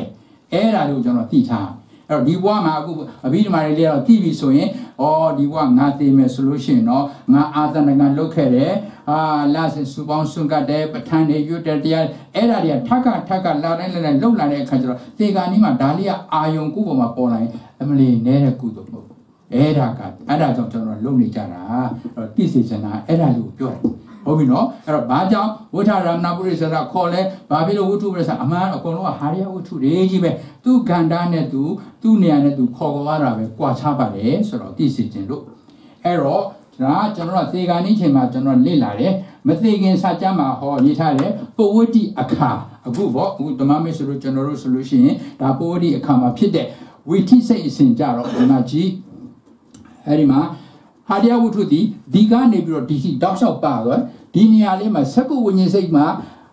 အာယုံလေးကတ်တဲ့အခါမှာတော့စာအနေနဲ့ပြောလိုက်တဲ့အခါမှာအဲ့ဒီချိန်မှာဟာရဝတ္ထုကိုမိတာမဟုတ်ဘူးတဲ့ဟုတ်တယ်လေ ကျွန်တော်မျက်စိလေးကအာယုံတစ်ခုကိုကြည့်လိုက်တဲ့အခါမှာအဲ့ဒီအာယုံလေးကြီးကျွန်တော်ရဲ့မျက်စိရဲ့ပတာတရုပ်မှာအယုတ်ကလေးလာပေါ်တဲ့အချိန်ကလေးအမလီတစ်စက္ကန့်ရဲ့တစ်ထောင်ပုံပုံတစ်ပုံတော့အချိန်ကလေးကတော့ဟာတရားဝတ္ထုကခဏလေးလွတ်သွားတယ်။ဘာဖြစ်လဲဆိုတော့ရုပ်ဝတ္ထုနဲ့ရုပ်ဝတ္ထုနဲ့တွေ့တဲ့အခါမှာအဲဒီမှာပေါ်လာတဲ့မျက်စိရဲ့အနောက်မှာပေါ်လာတဲ့ပတာတရုပ်အကြည်လေးဖြစ်တဲ့အချိန်လေးဟာ တစ်စက္ကန့်ကိုပဲအပုံတစ်ထောင်ပုံရင်တစ်ပုံတော့ပဲရှိမယ်အချိန်လေးမှာတော့ဟာတရားဝတ္ထုကလွတ်သွားတယ်။ကြံတဲ့အချိန်မှာတော့အကုန်လုံးဟာတရားဝတ္ထုပါလာလို့ကျွန်တော်တို့နားလည်အောင်လို့ဒီမှာပြထားတယ်။ဟဲဒီစက္ခုဝิญဉ်စိတ်ဖြစ်တဲ့နေရာလေးမှာတော့ပတာတရုပ်ကိုမှီတယ်ဟာတရားဝတ္ထုကလွတ်နေတယ်။ကြံတဲ့အချိန်ဒီမှာအစကနေအဆုံးဝိသိစိတ်စီမှာဟာတရားဝတ္ထုကပါလာလို့ကျွန်တော်တို့စီမှာအဲ့ဓာတွေက အော်မြင်နေဆိုတာလဲကိုကသိတယ်ကြားတယ်ဆိုတဲ့ဇာတ်တွေဟာတရားဝတ္ထုကသိနေတာဒါကြောင့်မလို့ဟာတရားဝတ္ထုကိုကြည့်မယ်ဆိုရင်ဝိသိစိတ်အစဉ်ကိုကြည့်မယ်ဆိုရင်စက္ကုဝိညာဉ်စိတ်မဖြစ်ခင်ကိုဟာတရားဝတ္ထုကရှိနေတယ်ဒါကြောင့်မလို့ဟာတရားဝတ္ထုကိုပုရိဇာတပစ္စည်းလို့ခေါ်တယ်ဝိသိစိတ်မဖြစ်ခင်ကအရင်ဖြစ်တာတော့ဒါကြောင့်မလို့တိနာဒအချိန်ခါမှာဖြစ်နေတဲ့ ဟာရယဝတ္ထုရှိနေတဲ့ဟာရယဝတ္ထုကိုကျွန်တော်ကဝတ္ထုလည်းဖြစ်တယ်အရင်လည်းဖြစ်လို့ born earlier ဝတ္ထုပုရိသတသူ့ကိုမှီရတဲ့အတွက်ကြောင့်မလို့ခေါ်မယ်ဆိုရင်အတိအကျခေါ်မယ်ဆိုရင်ဝတ္ထုပုရိသတနေသယဒီလိုမှမခေါ်ဘဲနဲ့ဝတ္ထုပုရိသတဆိုလဲအတူတူပဲနေတယကိုတော့ကျွန်တော်ထည့်မပြောတာကနေတယဆိုတာသူ့ကိုမှီတယ်ဆိုတာထင်ရှားနေပြီလေဟုတ်အမျိုးသမီးဖြစ်ပါလေဆိုတော့ထမင်ဝတ်ပဲထမင်ဝတ်သလားဟိုဟိုနင်းဖြစ်လာလို့မေးချာမလို့တော့ဘူး အမျိုးသမီးဆိုရင်ထမင်ဝတ်မယ်ယောက်ျားဆိုလူကြီးဆိုတိနေပြီးသားဆိုတော့ဒီဟာတွေကအကုန်လုံးမှီရတဲ့အတွက်ကြောင့်မလို့နေတယနေတယနေတယဆိုစကားလုံးကိုမခေါ်ပြောရင်လည်းရတယ်တဲ့ဒါကြောင့်မလို့ပြောမယ်ဆိုရင်ဟာဝတ္ထုပုရိဇတလို့ခေါ်ရင်လည်းရတယ်တိတိကျကျခေါ်ခြင်းလည်းဆိုရင်ဝတ္ထုပုရိဇတနေတယလို့ခေါ်ရင်လည်းရတယ်ဒါပဲအဲ့တော့ဒီဘက်အချိန်မှာလည်းပဲဒါဝတ္ထုပုရိဇဒါပဝတိခါကိုပြောနေတာသေတာနဲ့မဆိုင်တော့အခါကျတော့ ဟာရယဝတ္ထုဒီတောက်လျှောက်ပါတယ်တဲ့စက္ကုဝิญဉ်စိတ်ကလေးဖြစ်တဲ့အချိန်လေးမှာပဲရုပ်ရုပ်ချင်းပြတ်တည်တဲ့အချိန်အဆက်အကန့်အပိုင်းအခြားလေးလောက်ပဲဟာရယဝတ္ထုကခဏလွတ်သွားလို့သူ့ကိုစက္ကုဝิญဉ်စိတ်လို့ခေါ်တယ်တဲ့အဲဒီခါမှာစက္ကုဝิญဉ်စိတ်ဖြစ်တဲ့ဂျာနဲ့ကျွန်တော်တို့ပြင်စတော်ရဝဇန်စိတ်တံပဋိဆိုင်တွေတန်ဒီနောက်ပြီးဂျန်နရီအကုန်လုံးနှလုံးကအမြဲတမ်းပါရတယ်။ဒါကြောင့်ပတာရယုံနာအာယုတွေကိုပုရိသတ္တပစ္စည်းလို့ခေါ်တယ်တဲ့။ တနည်းအားဖြင့်ပြောမယ်ဆိုလို့ရှိရင်ဝတ္ထုပုရိသရာနေတိယတတ္တိရှိတယ်ဟာရယဝတ္ထုဒါလို့ပြောတာပါ။အဲ့တော့ကျွန်တော်တို့ကသိမဲ့အချိန်နဲ့မသိတဲ့အချိန်နဲ့ဝိချိစဉ်တွေကိုကျွန်တော်လေ့လာပြီးပြီ။လေ့လာတဲ့အခါကျတော့ပုရိသတ္တကတော့အမှန်အဲ့လောက်ပဲ။ဒါပေမဲ့လို့ကျွန်တော်တို့ဓမ္မမစ္စရသိတဲ့အတိုင်းပဋ္ဌာန်းပစ္စည်းတစ်ခုကိုလေ့လာပြီဆိုရင်ဒီပဋ္ဌာန်းပစ္စည်းကိုမှီပြီးတော့ငါဝိပဿနာဘလို့ရှုတယ်လဲသိအရေးကြီးတာပေါ့အဲ့ဒီဟာကအဓိကအနှစ်သာရကျွန်တော်ဆွေးနွေးမယ်ကန္တမလို့ ဒီမှာကျွန်တော်တို့ကပုရိသဒပစ္စည်းနဲ့ဘယ်လိုများဝိပဿနာရှုတယ်လဲဆိုတာကိုကျွန်တော်လေ့လာတော့မယ်တဲ့အဲ့သိအရေးကြီးတော့ဟုတ်ဒါကမှ apply ပြီးဒီမှာဆိုတာအဲ့ဒါကိုပြောတာလေအဲ့တော့ကျွန်တော်တို့ကဒီမှာရေးထားတယ်ယုံ nant တရားတွေအပြန်အလှန်ကျေးဇူးပြုမှုကိုရှုမှတ်ခြင်းဆိုတဲ့ဒိဋ္ဌိကအခုပုရိသတမှာရုပ်လည်းပါလဲနာမ်လည်းပါတယ်ရုပ်ကနေပြီးတော့နာမ်ကိုကျေစုပြုလို့ပုရိသတခေါ်တယ် ရုပ်ကနေနာမ်ဆိုတော့ဝိပဿနာရှုတဲ့အခါမှာရုပ်ကနေနာမ်ပုရိသတကိုပြီးပြီးတော့ဝိပဿနာရှုမယ်ဆိုရင်ရုပ်ကလည်းပါလဲနာမ်လည်းပါတော့ရုပ်တွေနာမ်တွေအပေါ်မှာဝိပဿနာရှုတာကိုပဲပုရိသတနဲ့ဝိပဿနာရှုတယ်လို့ခေါ်တာအဲတော့ကျွန်တော်တို့ကရုပ်တွေအကြောင်းကိုလည်းရုပ်ကိုလည်းပဲမှီပြီးတော့ဝိပဿနာရှုရမယ်။နတ်နေကိုလည်းရှုပြီးတော့ဝိပဿနာရှုရမယ်။အလွယ်ပြောမယ်ဆိုရင်တော့ ဓမ္မမိတ်ဆွေတို့စာရွက်တွေရထားတော့ဒီမှာရေးထားပြီးတော့ကျွန်တော်အဲ့ဒါတွေတစ်ခုချင်းမရှင်းမနဲ့တခါလေးပြောလိုက်မယ်။ဘယ်လိုပြောလဲဆိုတော့ဥရိဇတကရုပ်တည်နာနေကိုမှီပြီးတော့ဝိပဿနာရှုလို့ဆိုဘယ်လိုရှုတယ်လဲဆိုရင်လူတယောက်ကိုဝိပဿနာရှုပြီးကျွန်တော်တို့တရားရှုတော့မယ်ဆိုရင်အခုသွားပြီးတော့ကမ္မထမ်းဌာနတွေမှာသွားမင်းအေးလာကြဘုရားကမ်းမှာကမ္မထမ်းဟောမှာထိုင်ကြတင်မလင်ခွေထိုင်မျက်စိလေးပိတ်ဘဲဘဲလက်ပေါ်ညာဘက်တင်းအစရှိပြီးအဲအဲ့ဒီမှာထားပြီးတော့ဝင်နေထွက်တယ်ရှု အဲ့လိုပြောမယ်အစားဒီမှာလာထိုင်တဲ့ပုဂ္ဂိုလ်လည်းဗုဒ္ဓဘာသာမြန်မာတွေဖြစ်တော့ကမ္မထမ်းဆရာလည်းတန့်ပြီးတော့အဲ့လိုရှုခိုင်းတယ်ကျွန်တော်တို့ပြောမယ့်ဟာကကျွန်တော်တို့ကကျွန်တော်တို့ပြောနေတဲ့မိတ်ဆွေဓမ္မမိတ်ဆွေကြီးဗုဒ္ဓဘာသာဟုတ်သည်မဖြစ်စေမဟုတ်သည်ဖြစ်စေ common တရားထိုင်တဲ့နည်းကိုပြောရမှာဗုဒ္ဓဘာသာတွေကဗုဒ္ဓဘာသာကိုပဲတရားထိုင်ပြီးပြောနေတာဟုတ်ပါပြီ ဗုဒ္ဓဘာသာမဟုတ်တဲ့ပုဂ္ဂိုလ်တရားကိုယ့်ကိုချီးကပ်ပြီးတော့ကျွန်တော်ကတော့ဗုဒ္ဓဘာသာမဟုတ်ဘူးဗမာလူလည်းမတတ်ဘူးဖះစာတွေလည်းမသိဘူးဒါကျွန်တော်တရားထိုင်ခြင်းနဲ့ဗျာဆိုရင်အဲ့ဒီပုဂ္ဂိုလ်ပြောတာတစ်မျိုးအဲသူ့ကိုတွားပြီးတော့ကဥစ္စာကျွန်တော်တို့ကအာဒီဥစ္စာတော့အနေစာဒါဒုက္ခတွားပြောလို့မဖြစ်ဘူးအဲ့တော့ကျွန်တော်တို့ကတရားထိုင်တဲ့အခါမှာပြောရမှာ common အနေနဲ့ပြောရမယ်ကျွန်တော်တို့ကတရားထိုင်ကိုပြောတဲ့အခါမှာထိုပုဂ္ဂိုလ်ဒီဗုဒ္ဓဘာသာလားဘာလားမစင်စားနဲ့တော့ ထိုဒီထိုပုဂ္ဂိုလ်ဒီဗုဒ္ဓဘာသာကိုလုံးဝနားမလည်တဲ့ပုဂ္ဂိုလ်တယောက်အနေနဲ့ပြောနိုင်လို့ရှိရင်အဲ့ဒါ basic တရားထိုင်ကြီးပဲအဲ့တော့ပုရိသရနဲ့ဘယ်လိုတရားထိုင်လဲဆိုရင်ပြောရမှာကလူတယောက်ကိုလွယ်တယ်ကျွန်တော်တို့ဗုဒ္ဓဘာသာတရားထိုင်တယ်ကျွန်တော်တို့ကအနိစ္စတွေဒုက္ခတွေအနတ္တတွေဖြစ်တာတွေပြည့်တာတွေဘယ်တော့မှမဆောက်ဘယ်လိုစပြောလဲဆိုလို့ရှိရင်အဲတရားရှာတယ်ဆိုတာအဲ့တော့စကားအဆက်ပြောအောင်ကျွန်တော်တို့ဗမာတွေကျွန်တော်ငယ်ငယ်တော့စဉ်းစားတယ် အဖေဒီမေဒီဆရာတွေပြောတရားရှာတရားရှာတရားဟာဘယ်နေရာမှာသွားရှိပြီးတော့ဘာတွေသွားရှာလဲမသိဘူးတရားဘာရှာလဲဆိုအခုတက်တိဗုဒ္ဓဘာသာတွေသွားမေ့ကြည့်တရားရှာတယ်ဆိုတော့ဘာလဲဆိုတော့အိုးတရားရှာတာနိဗ္ဗာန်တရားကိုနိဗ္ဗာန်ကိုတွေ့ဖို့ပါအဲနိဗ္ဗာန်ဆိုတာဘာလဲဆိုတော့အဲ့ဒီမှာကုန်လုံးလဲချပြလိုက်တရားရှာတယ်ဆိုတာဘာမှမဟုတ်ဘူးတရားဆိုလည်းဘယ်မှသွားမရှာနဲ့ကိုယ်ထဲမှာပဲရှိကတ်နေတာကတ်နေတာလေးကိုကျွန်တော်မရှာတတ်ဘူးပြဿနာကိုယ့်မျက်ခုံး မှွေးကိုကိုယ့်မျက်တောင်ကိုပြန်မမြင်ရသလိုပဲကျွန်တော်တို့ကိုယ်နားမှာရှိနေတဲ့တရားအစစ်ကိုမမြင်တာလိုက်ရှာနေတာကမ္မထန်ဌာနဘောင်းဆောင်ရှောက်သွားပြီးတော့အဲ့ဒါကိုသူကတရားရှာတယ်ထင်တရားရှာတာဘာမှမဟုတ်ဘူးမိမိခန္ဓာကိုယ်ထဲမှာရှိတာကိုပဲရှာမှာဘာရှိတယ်ခန္ဓာကိုယ်ထဲမှာဘာရှိတယ်လဲဆိုတော့ကြိုပြောမယ်ဆိုရင်နာနဲ့ယုံပဲရှိတယ်ခန္ဓာကိုယ်ဟာနာနဲ့ယုတ်ဖွဲ့စည်းထားတဲ့ အပေါင်းအစုကြီးပဲဆိုတာကိုသိသွားရင်တရားတွေ့တာပဲဒါပဲရှင်းရှင်းလေးဗုဒ္ဓဘာသာဟာရှင်းတော့အကြည့်တော့ဆုတ်ပါတယ်အဲ့တော့တရားရှာတယ်ဆိုတော့ဘာမှမရှာနဲ့ခန္ဓာကိုယ်ထဲမှာငါခန္ဓာကိုယ်ကဘာနဲ့ဖွဲ့စည်းထားသလဲဆိုတော့အကျမ်းမြင့်ရှာဒါကြောင့်တရားဘယ်လိုအထုတ်တယ်လဲပုရိသရနဲ့ဝိပဿနာဘယ်လိုအဆိုဘာမှ tradition အဲခမည်းတနေ့တနေ့မှလုပ်နေတာလေခမည်းရဲ့ action ကိုခမည်းကြည့်အခုကတမထကိုပြောတော့ဝိပဿနာကိုပြောနေတာနော် သမထဆိုတာရှုရှဲရှုရှဲနဲ့အဲဒီအာနာပါနာတွေကဒါသမထတွေအခုကျွန်တော်ဝိပဿနာရှုနည်းကိုပြောနေတာအဲ့တော့လူတယောက်ကဗုဒ္ဓဘာသာမဟုတ်ဘူးဆိုရင်တရားထိုင်တာဘယ်လိုထိုင်လဲပြောမှရှင်းရှင်းလေးခင်ဗျားမနဲ့မိုးလင်းနဲ့အချပြီးတော့ခင်ဗျားလုပ်တဲ့ action တွေဟူသမျှခင်ဗျားတွေးတာတွေဟူသမျှဘာလုပ်ရမလဲခင် categorize နှစ်ခုလုပ်ရမယ်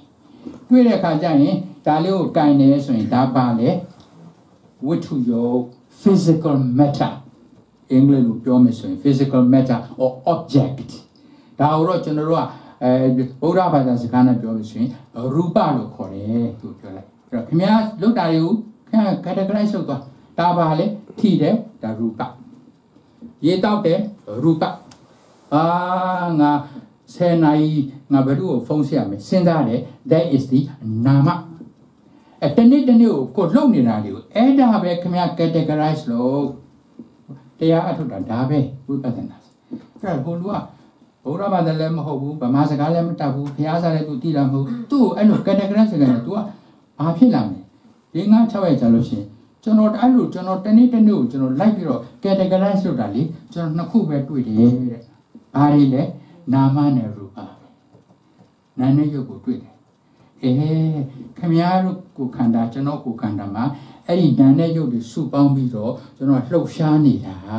တကယ်တမ်းကျတော့အရင်စစ်လိုက်တဲ့အခါကျကျွန်တော်ခန္ဓာကိုယ်ထဲမှာရုပ်နဲ့နာနဲ့ပဲရှိတယ်ဆိုတာကိုခမည်းစာမဖတ်ဖဲနဲ့သဘောပေါက်သွားပြီပေါက်သွားပြီကျွန်တော်လက်ခံသွားပြီကျွန်တော်ရဲ့ခန္ဓာကိုယ်ထဲမှာဒီနှစ်ခုကလွဲလို့ဘာမှမရှိဘူးအေးနောက်တစ်ဆင့်ကအဲ့ဒီနာနဲ့ရုပ်တွေကတစ်ခုနဲ့တစ်ခုဘလို့အမိပြုတ်ပြီးတော့ကျေးဇူးပြုရဆိုခင်စောင့်ပြီးတော့ကြည့်လိုက်အဲ့ဒါဝိပဿနာရှင်ကြီးကိုပြောနေတာ ဗုဒ္ဓဘာသာမဟုတ်တဲ့လူတယောက်ကိုတရားမှတ်နည်းတရားထိုင်နည်းဝိပဿနာရှင်ကြီးကိုပြောပြတာဒီလိုပြောပြမှာသူ့ကိုဘာမှဖြစ်တာတွေပြက်တာတွေအနိစ္စတွေဒုက္ခတွေဘာမှပြောနေရှုပ်ကုန်တယ်ရှင်းရှင်းလေးပြောရင်ခင်ဗျာအဲ့ဒီကံထားခင်ဗျာကံတာကိုတော့ဘာတွေရှိတယ်လဲဆိုတော့ခင်ဗျာရှာဖို့ပဲအဲ့ဒါတရားရှာရဆိုအဲ့ဒါကိုပြောတာနာနေရုပ်ကိုရှာတယ်ရှာပြီဆိုတော့ဥရိဇာတမှာနာနေရုပ်ဆိုကျွန်တော်တို့ဗမာတွေကလည်းပဲဗုဒ္ဓဘာသာရဲ့အဲ့ဒီနီးလေးကိုယူပြီးတော့ ဓမ္မမိတ်ဆွေတို့ကျွန်တော်တို့မနေ့မိုးလင်းနေဆက်ဩဒါလေးကတကားကိုအိမ်မနေ့အိယာထတယ်ဂဒင်ဘွားနဲ့ခြေထောက်ကိုချလိုက်တယ်အောက်ကကားပက်နဲ့ခြေထောက်နဲ့ထိရင်ဒါရူပထိသွားတယ်လေအထီတွေလမ်းလျှောက်တယ်ရူပအိမ်သာတကားကိုဖွင့်တယ်ဘာလို့ကွာအပေါ်ပါသွားခြင်းနဲ့တကားဖွင့်တယ်တကားလက်ကင်လို့ကန်လိုက်တဲ့ရူပအော်မျက်နှာတစ်ပြီးတော့ငါအောက်မှာ breakfast ကိုတော့ဒီနေ့ငါယောက်ျားကိုကျဲဥကြော်နဲ့ဘေကွန်နဲ့ sausage နဲ့တွဲမယ်လို့စဉ်းစားလိုက်ရင်နာမ ဟာကိုယ့်ကိုဒါတွေပဲလုပ်နေတနေ့တနေ့အဲ့ဒါလုပ်နေတာအာအကျိုးရှိတယ်အမလေး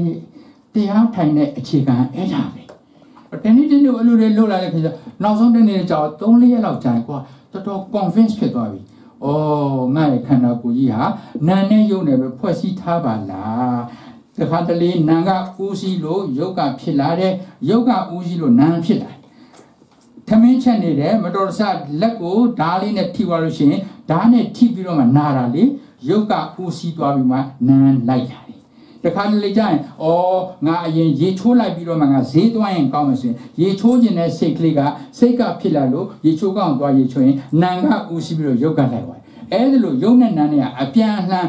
သူကတလှဲ့ကိုဟွားတလှဲ့ကျေးဇူးပြုသွားတော့တည်သွားပြီဆိုရင်အဲ့ဒါကကျွန်တော်တို့ပဋ္ဌာန်းပစ္စည်းလိုပဲအကြောင်းတရားနဲ့ကြောင့်အကျိုးတရားဖြစ်လာဆို အကြောင်းအကျိုးကိုလေ့လာတမ္မာတနာဉာဏ်ဆိုတာအဲ့ဒီအခြေခံစတယ်အဲ့ဒီလိုလွတ်သွားခြင်းအပြင်တဲ့အဲ့ဒါပုရိသတာနီးနဲ့တရားထိုင်နေပါပဲလွယ်လွယ်လေးပဲတို့မြတ်စွာဘုရားရဲ့တရားတော်ကတကယ်ရှင်းရှင်းလေးအဲ့ဒါကိုကျွန်တော်တို့အမျိုးမျိုးမရှုပ်ရှုပ်အောင်စဉ်းစားတွေးခေါ်နေတာအဲ့တော့တရားရှာရဲဆိုတာဘာလဲကိုယ်ထဲမှာရှိတဲ့ယုံနဲ့နာနဲ့ကိုပိုင်မင်းခြားခြားသိဖို့အတွက်စ조사အားထုတ်ခြင်းကိုပဲတရားရှာတယ်လို့ခေါ်တာပါတဲ့ဒါလေးကိုကျွန်တော်ပြောထား အဲ့တော့အဲ့ဒါနဲ့ပတ်သက်ပြီးတော့ပုရိဇာတပစ္စည်းနဲ့ပဋိစ္စသမုပ္ပါ level ကိုလည်းလေ့လာလို့ရတယ်ဒါ academic အဲ့တော့ကျွန်တော်တို့ကပဋ္ဌာန်းကိုသင်နေတဲ့ပဋိစ္စသမုပ္ပါဘာလို့ခဏပြန်သွားလဲဆိုတော့တကယ်တမ်းကျတော့မြတ်စွာဘုရားအကြောင်းတရားအကျိုးတရားတွေဟောတဲ့နေရာမှာ၃မျိုးဟောတယ်သစ္စာ၄ပါးနဲ့နိရောဓသစ္စာမေဃသစ္စာဟို sorry သမုဒယသစ္စာဒုက္ခသစ္စာ ဒုက္ခသစ္စာတော့အရင်ဟောတယ်ဒုက္ခသစ္စာသမုဒယသစ္စာနိရောဓသစ္စာမေဃသစ္စာသစ္စာ၄ပါးနဲ့အကြောင်းအကျိုးတွေရဲ့ဆက်နွယ်ဖို့မြတ်စွာဘုရားဟောသလိုသူ့တဲ့တဆင့်တက်ပြီးတော့ပဋိစ္စသမုပ္ပါကိုဟောတယ်ပဋိစ္စသမုပ္ပါထက်ကိုထပ်ပြီးတော့အသေးစိတ်တော့ပဋ္ဌာန်းဆိုတာဖြစ်လာပဋိစ္စသမုပ္ပါမှာကအကြောင်းတရားတစ်ခုကြောင့်အကျိုးတရားဖြစ်တယ်ဒါပဲပဋ္ဌာန်းကြတော့အကြောင်းတရားများစွာကအကျိုးတရားတစ်ခုကိုလည်းဖြစ်စေတယ်အကြောင်းတရားများစွာကအကြောင်းတရားအကျိုးတရားများစွာကိုဖြစ်စေဆိုပဋ္ဌာန်းကြတော့ပို့ပြီးတော့ကျက်ပြန့်သွားတယ် ဒါကြောင့်မလို့ကျွန်တော်တို့ပဋ္ဌာန်းကိုလေ့လာပြီးမယ်လို့ပဋ္ဌာန်းနဲ့ပရိစ္ဆသမုပ္ပါဒ်ဒီဆက်ဆက်နေတယ်လို့ပြောတယ်ဒါကြောင့်မလို့ဟိုပါကျုပ်ဆရာတော်ကြီးဟောတဲ့အခါမှာပဋ္ဌာန်းတရားတော်အပြင်ပရိစ္ဆသမုပ္ပါဒ်ကိုလေ့လာခြင်းဆိုတဲ့ဟောတဲ့တရားကြီးအများကြီးရှိတယ်အဲ့တော့ဒီနေရာမှာလဲကျွန်တော်တို့ကပုရိသတာပစ္စည်းနဲ့ပဋိစ္စသမုပ္ပါလဲတာကိုဘယ်လိုနားလည်အောင်လေ့လာမလဲပဋိစ္စသမုပ္ပါကိုဘယ်လိုပြတ်အောင်လေ့လာလဲဆိုတော့ပုရိသနဲ့အဲ့လိုလဲလေ့လာလို့ရပါဆိုဒါဘုဟုတုတထည့်ထားပေးတာ အဲ့တော့ကျွန်တော်ဒီမှာကြည့်မယ်ပဋ္ဌာန်းရဲ့ဒီပါဠိတရားတော်မှာအဲမူလတရားတော်မှာဗာရေးထားလဲဆိုတော့သက္ကုစာပဋိစ္စရူပေစာဥပ္ပစ္စတိသက္ကုဝိညာဏသက္ကုစာမျက်စိကိုအစွဲပြု၍အာယုံကိုရူပယုံအစွဲပြု၍သက္ကုဝိညာဉ်ဆိုတာဖြစ်လာတယ်တဲ့တိဏ္ဏသင်္ကတိဖတ်တော့အဲ့ဒီသုံးခုရဲ့ဖြစ်ပေါ်လာခြင်းဟာကိုဖတ်တာလို့ခေါ်တယ်အဲ့တော့ ဖတ်တာပစ္စယဖတ်တာဖြစ်လာပြီဆိုရင်ဝေဒနာလိုက်လာတယ်ဒါကဘလို့မှမလွဲမသွေအဲ့တော့ကျွန်တော်တို့ဒီတိဏ္ဏသင်္ကတိအဲ့ဒီသက္ကုံရူပသက္ကုဝိညာဉ်ဖြစ်လာတဲ့ဖတ်တာဆိုတာဖြစ်လာတယ်ဖတ်တာဖြစ်တာနဲ့ဝေဒနာဆိုတာလိုက်တာဝေဒနာအမြဲပေါ့ဝေဒနာဆိုတာကကျွန်တော်အရာထဲမှာသုံးနေတဲ့ဝေဒနာရဲ့ဝေါ်ဟာရနဲ့တွားပြီးတော့မရောနဲ့အရာထဲမှာပြောတဲ့ဝေဒနာဆိုတာယောဂဝေဒနာတွေဖြစ်လာတော့ခံစားနေရတဲ့အနိဋ္ဌာယုံခံစားချက်ကဝေဒနာ အဘိဓမ္မာမှာပြောနေတဲ့ဝေဒနာသည်ကောင်းတာလည်းပါတယ်မကောင်းတာလည်းပါတယ်ကောင်းသည်လည်းမကောင်းဆိုတဲ့ခံစားမှုဟာဒီများကိုကျွန်တော်တို့ဝေဒနာလို့ခေါ်လိုက်တော့အဲ့တော့ဖတ်တာဖြစ်လာရင်ဝေဒနာတစ်ခုပေါ်လာတယ်ဝေဒနာပေါ်မူတည်ပြီးတော့မှဝေဒနာပစ္စယတဏှာတဲ့ဝေဒနာပေါ်မူတည်ပြီးတော့တဏှာဖြစ်လာပြောစရာအကြောင်းရှိတာကမကောင်းတဲ့ဝေဒနာကိုဘယ်လိုလုပ်တရားတဏှာပေါ်ရမလဲဟောတဏှာဆိုတဲ့အဓိပ္ပာယ်က ကောင်းတာတွေဖြစ်လာရင်တော့သိတာတယ်အဲ့ဒါကိုဒီကောင်းတဲ့ဝေဒနာလေးကိုဆက်လက်ပြီးတော့ခံစားခြင်းနဲ့လိုခြင်းနဲ့တောင်းတတယ်ဆိုရင်ဒါတဏှာမှန်သိတာတယ်မကောင်းတဲ့အနိဋ္ဌာယုံတဏှာကိုဖြစ်လာတဲ့ဝေဒနာကိုဘာကြောင့်ဘယ်လိုကြောင့်တဏှာလို့ခေါ်ရတာလဲဆိုတော့မကောင်းတဲ့ဝေဒနာဖြစ်လာတဲ့အခါကျတော့ကောင်းတဲ့ဝေဒနာနဲ့အစားထိုးခြင်းမကောင်းတဲ့ဝေဒနာကိုဖယ်ပစ်ခြင်းမကောင်းတဲ့ဝေဒနာကိုဖယ်ပစ်ပြီးတော့ကောင်းတဲ့ဝေဒနာနဲ့အစားထိုးခြင်းလို့အဲ့ဒါကိုလက်တဏှာလို့ခေါ်တယ်ဒီ သိထားရမယ်အဲ့တော့ဘုရားဘာသာမှာကောင်းသည်ဖြစ်စေမကောင်းသည်ဖြစ်စေဝေဒနာပေါ်လာရင်အဲ့ဒီဝေဒနာဒီတဏှာနောက်ကနေလိုက်လာတဏှာဖြစ်လာပြီဆိုရင်ဥပါဒံဆိုတာဖြစ်လာဥပါဒံဖြစ်လာပြီဆိုဥပါဒံကြောင့်ဘဝဆိုတဲ့လှုပ်ဆောင်မှုတွေကြောင့်ဘဝဆိုတာဖြစ်လာဘဝဖြစ်လာတဲ့အတွက်ကြောင့်မလို့ဘဝဖြစ်ပြီဆိုတာနဲ့ကျွန်တော်တို့ကဇာတိဆိုတာပဋိတန်တွေယူရောမယ်ပဋိတန်တွေရင်ဘဝဖြစ်လာပြီးတော့တတဝဖြစ်လာပြီးတော့ဇေယမရဏတောကပိတဝတောကဒေါမနတုပါယတာတံဘဝန္တိတဲ့ ဒုက္ခတွေဟဲ့လားဇေဇာတိဇေယမရဏကိုကျွန်တော်တို့ဆိုလို့ရှိရင်ဇေယဘိုင်းကိုရောက်သွားပြီဇာတိကကြော်သွားပြီလေလူဖြစ်လာပြီဥဇေယဘိုင်းကိုဝင်လာပြီဇာပြီးတော့နောက်လာတော့မယ်သူ့နောက်ကကန့်ရက်ကဘာလဲမရဏလာတော့မယ်နောက်လင်္ကာ6နှစ်လောက်ဆိုရင်ဇာတန်တို့မျိုးရှိချင်းမရှိတော့မှာအဲ6နှစ်လောက်ကြာရင်ခံရင်ကကံကောင်းပေါ့သဘောကလေပြောပြတာအဲ့တော့ဟိုအဲ့လိုပြောလိုက်လို့ဘာမှစိတ်မဆိုးရဘူးစိတ်လည်းမဖြစ်နဲ့ဘာလို့ဆိုတော့ကျွန်တော်တို့ကအဲ့ဒီအတိတရားမရှိဘူးတချို့များဆိုရင် အမလီတည်နေဆိုတဲ့စကားကိုတော့တွားမမပြောနေနဲ့တကားတိုင်းဟိုတချို့ကလက်မခံဘူးအဲနမိတ်မရှိနမမရှိပါဇက်ပုတ်ကြီးနဲ့လာပြီးတော့တည်တဲ့အကြောင်းလာပြတချို့ကလက်တရားမရှိတဲ့ပုဂ္ဂိုလ်တရားရှိတဲ့ပုဂ္ဂိုလ်ကကျွန်တော်တို့ကတနေ့သေးရမှာပဲခုကျွန်တော်တို့ကဖြစ်နေပြန်တယ်ကျွန်တော်တို့ကပညာဝိပန္နတာဆိုတာကျွန်တော်တို့ရဲ့အယူဆကွာငါမသိနိုင်သေးဘူးငါကအသက်ရှင်နေသေးတယ်ဆိုတဲ့ဟာတွေကပညာဖုံးနေလို့တကယ်တမ်းကျကျွန်တော်တို့က ကိုယ့်ကိုနေတိုင်းနေတိုင်းအတုပကမ္မထမ်းရှုရမှာတကယ်လို့များကိုယ့်မရှိတယောက်ကလာတော့ဟာအတုပကြီးကိုယ်စံထုံးရင်နေကောင်းလားဆိုရင်အရင်တော့စိတ်တဆိုးမှာအခုမဆိုးတော့ဟော तू ကငါ့ကိုပရမတ်ကြကြငါ့ကိုခေါ်တာပဲအဲ့တော့ဓမ္မမရှိလည်းအခုအိမ်တော်ရှင်တွေရှိတယ်အိမ်တော်ရှင်အမျိုးသမီးကကိုယ့်ယောက်ျားကို ဟာအတုပါကြီးရှင်သမင်းစားလို့ကောင်းရဲ့လားဆိုရင်ယောက်ျားစိတ်မဆိုးနဲ့ဒါမှန်နေတော့လေဟာအတုပါကြီးရှင်ပဲသွားမလို့လေစိတ်မကြနဲ့နော်အတုပါအဲ့တော့အတုပါကြီးပြောလေကိုကအော်ငါမိမတော်လိုက်တာငါ့ကိုပရမတ်ထကြကြနဲ့ခေါ်တာအဲ့ဒီမှာကိုတရားယူတာထို့အတူပဲယောက်ျားဟာအမျိုးသမီးကြောက်လေအဲမတမကြီးနေဒီနေ့ဘာချက်မလဲအဲမတမနဲ့အတုပါတူတူပဲ အဲ့တော့ယောက်ျားကလည်းမိန်းမကိုမသားမခေါ်ခေါ်မိန်းမယောက်ျားဆိုအဲ့ဒါမနာနဲ့အမှန်တိုင်းခေါ်နေတာအဲ့ဒါလို့ခေါ်မှကျွန်တော်တို့ကလည်းဩတံဝေကရအခုတော့အဲ့လိုမဟုတ်ဒါလင်ရင်နင်းပြင်းနေဘာချက်လဲဆိုတော့ဒါလင်ခေါ်လိုက်တယ်နဲ့ကိုကတခါတည်းအဲအာပျော်သွားပြီးတော့အဲ့မှာပြဿနာတက်ကောဟုတ်တယ်မလားအဲ့တော့ကျွန်တော်တို့ကတင်ညာဝိပါလတဖုံးနေစားအဲ့ဒါကိုပြောတာဒါကြောင့်မလို့ကျွန်တော်တို့က အမှန်တိုင်းကိုရဒဲဒဲလို့ခေါ်လိုက်လဲဟောသဘောကြာအဲ့ဒါလို့အဲ့တော့ဟုတ်ပါနောက်ကိုခွင်အဲ့လိုပရမတ်ထကြကြလေးခေါ်နိုင်ရင်ကျွန်တော်တန်ဝေကပို့ရတာပေါ့အဲ့တော့ဘာမှစိတ်မဆိုးနဲ့အဲ့ဒါကျွန်တော်ပြောချင်တာလေအဲ့တော့ဒီလိုဟာတွေဖြစ်လာတယ်တောကပရိဒီဝဒုက္ခဒေါမနတဒါတွေဖြစ်လာအဲ့ဒီဧဝမေတ္တကေဝလတ္တဒုက္ခအဲ့ဒီဒီမှာဘာမှအနှစ်သာရမရှိတဲ့ဒုက္ခတွေဆိုတာဖြစ်လာတယ်တဲ့ အဲ့တော့ဘယ်ဟာစလဲတဏှာနေစားတဏှာမဖြစ်ရင်ဝေဒနာဝေဒနာဖြစ်ဖတ်အဲ့တော့တရားအထုတ်တဲ့အခါကျရင်ဩထမင်းစားဝိုင်းမှာဟင်းကောင်းတယ်ဆိုရင်ဟင်းကောင်းလိုက်တာဆိုပြီးတော့အဲ့ဒီဘက်ကိုလိုက်မသွားနဲ့ဩဟင်းကောင်းတယ်ဆိုတာလို့ acknowledge ဆိုတော့ငါဟင်းကောင်းတာလေးကိုသတိထားမိလိုက်တယ်အဲ့ဒီပုံမှာငါတိတ်ပြီးတော့ကနှစ်သက်သွားတဲ့လိုချင်သွားတဲ့စိတ်တွေအလုံးအကျုံမဖြစ်စင်နဲ့အဲ့လိုစပြီးတော့ကျင့်အဲ့တော့ကောင်းတယ်ဆိုလို့ရှိရင်လည်းကောင်းတယ်လို့အတိအမှန်ပြုလိုက် မကောင်းဘူးဆိုရင်လည်းမကောင်းဘူးလို့အတိအမှန်ပြုလိုက်စိတ်ကလေးကနည်းနည်းလေး settle ဖြစ်သွားတယ်အဲ့ဒါလိုစကြင်ရတယ်တဲ့ဝိပဿနာတော့ပရိစ္ဆသမအဲ့လိုမလုံနိုင်ဘူးဆိုရင်လည်းဝေနာဖြစ်လာတဲ့ဝေနာနဲ့နောက်ကတဏှာဖြစ်လာတဲ့တဏှာနောက်ကဥပါဒနာဥပါဒနာနောက်ကနေပြီးတော့မိမကြီးထမင်းလေးထပ်ထည့်ပါအောင်အဲ့ဒီမှာဘဝဆိုတာ action ကိုပြောတာအဲ့လိုတွေဖြစ်လာတဲ့အခါကျွန်တော်အဲ့ဒါပရိစ္ဆသမုပ္ပါလဲတယ်လို့ခေါ်တာကျွန်တော်ကတန်တရားလဲတယ်ဆိုတာဒီဘဝသေးနောက်တစ်ဘဝဖြစ်နောက်တစ်ဘဝသေးနောက်တစ်ဘဝဖြစ်အဲ့ဒါကိုမှကျွန်တော်ကတန်တရားလဲတယ်လို့ခေါ်တာ no တန်တရားလဲတယ်ဆိုတာ အခု right now အခုလောလောဆယ်ဖြစ်နေတဲ့အဲ့ဒီ action တွေရုပ်တည်နာနေရဲ့လက်ပတ်နေမှုဒီပင်လျင်တန်တရားလဲတယ်လို့ခေါ်တာအဲ့ဒါကိုနားလဲမှပဋိစ္စသမုပ္ပါကကျွန်တော်နားလဲတာအဲ့တော့တန်တရားလဲတယ်ဆိုတာအဲ့ဒီပေါ်လာတဲ့ဝေဒနာလေးကိုမဖြတ်တောက်နိုင်ဘဲနဲ့ဝေဒနာရဲ့နောက်ကိုရှောက်လိုက်သွားရင်အဲ့ဒါတန်တရားလဲနေတာအခုတန်တရားလဲနေတာလောလောဆယ်ဒါပဲအဲ့တော့ အဲ့တော့ပဋိစ္စသမုပ္ပါလဲတယ်ဆိုတာအဲ့ဒါပဲ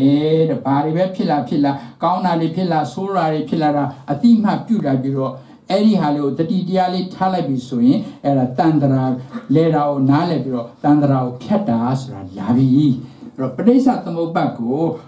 ပဋ္ဌာန်းပုရိသရနဲ့တန္တရာကိုဘယ်လိုဖြတ်တယ်လဲပရိစ္ဆသမုတ်ကိုဘယ်လိုဖြတ်တယ်လဲဆိုတော့အခုနအတိုင်းပဲလေပါဠိကိုပြန်ပြီးတော့ရော့မယ်ဆိုလို့ရှိရင်ကျွန်တော်တို့ဒီမှာစက္ကုံဇာပရိစ္ဆာအဲ့တော့ဒါတွေတိတိဏ္ဍသင်္ကတိဖတ်တော့ဖြစ်လာတယ်ဖြစ်လာတယ်အဲ့တော့တဏှာဖြစ်လာပြီတတ္တယေဝတဏှာယအဖေတဝိရာဂနိရောဓဥပါဒနာနိရောဓဆိုတဲ့ဘောကတတ္တယေဝတဏှာယအဲ့ဒီဖြစ်ပေါ်လာတဲ့တဏှာကိုတဲ့အတေတဝိရာဂဆိုအတေတဆိုအကျွမ်း အကျွမ်းမရှိအောင်အဲ့ဒီ